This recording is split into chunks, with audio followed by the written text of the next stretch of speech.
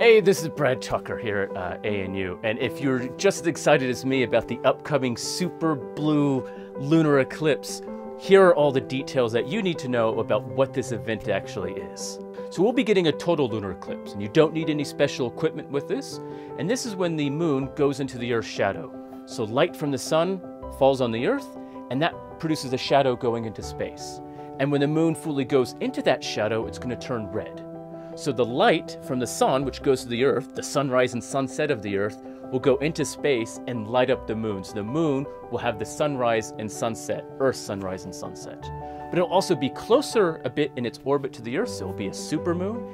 And it's the second full moon of the month, a blue moon. So on January 31st, appreciate something that hasn't happened since before Thomas Edison invented the light bulb.